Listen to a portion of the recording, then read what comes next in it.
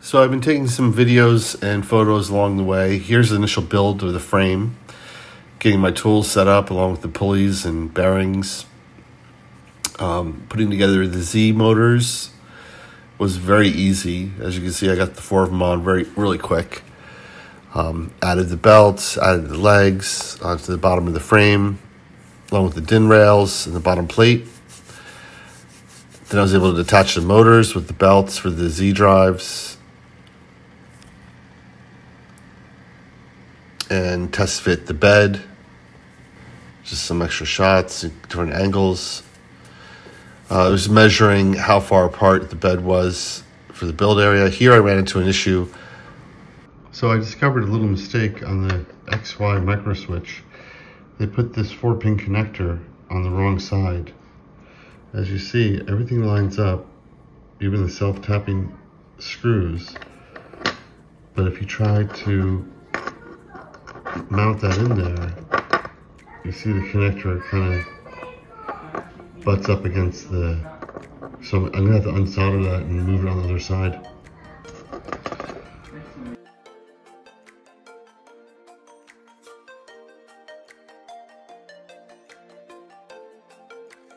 So as a temporary fix, you can just use a hacksaw and cut out that little bit for the four pin connector and there apparently is a mod for this, which I'm gonna print as soon as my printer's online.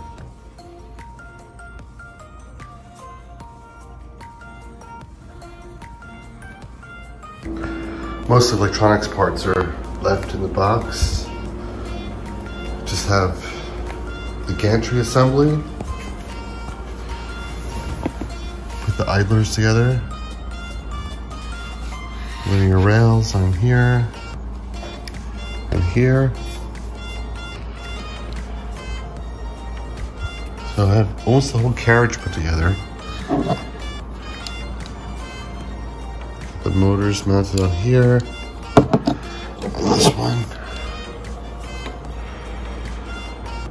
I'm just hoping these tolerances are good. I got those shims in there correctly.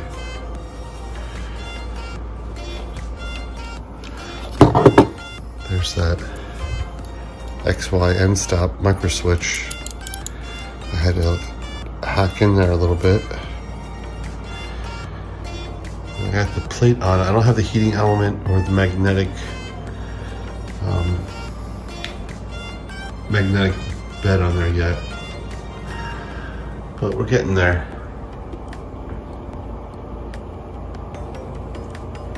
Idler. Okay, quick update on the gantry and the afterburner. Um, by far the hardest part was putting in these two belts, the A and B belts, which I'm still not sure. I have them at the right length, so I haven't cut them um, after I tighten them down, but it appears like it's okay. Um, I can't really do it one-handed move the gantry, but one of the gotchas was, you know, running these belts around I discovered in the manual, unless I missed it, um, that little hob gear or whatever is opposite on this side for this motor. So you have to turn that pulley upside down um, to pull the A belt, the top, and this one faces to the bottom. I don't know if you can see in there. See how it's on the bottom to pull the B belt. So that was a big gotcha.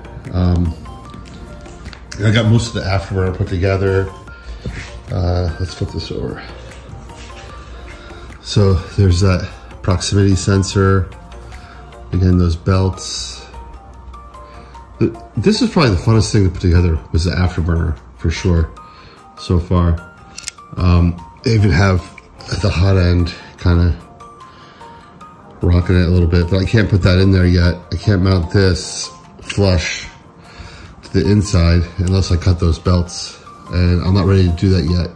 I want to first make sure that the gantry is uh, operating properly before I cut the belts. I want to leave myself enough slack, even though these idlers or whatever they call these belt tensioners, I think, um, you know, give me some room on either side to be able to pull it out. But so that's basically where I'm at. And you can see I have a mess of belts. That's going to be for the Z drive, the Z drives, which probably is the next step. These up. I guess going to run through here. Gantry's to attach to these linear rails up to these idlers up here. So, and I haven't even put the, um, it the magnetic, I haven't put the magnetic, uh, plate on yet or the heating element underneath but I did do the Z switch. Get that hooked up. I have two it came with two pins. I think I have the shorter one in there now. But um, I can always adjust that later. You know I'll run that down to the board. Oh the other thing was the X and Y micro switches over here. You can see how they're installed now on the bottom. Focus, there we go. So there's the Y, I think, and that would be the X.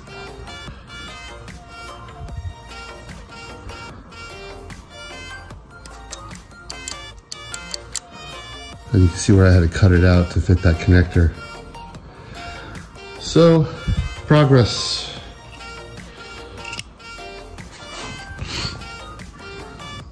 This is kind of neat too, the way that they mount the back of this cable organizer. It just sort of goes over those uh, M3 screws like that. So you can pop it off real easy.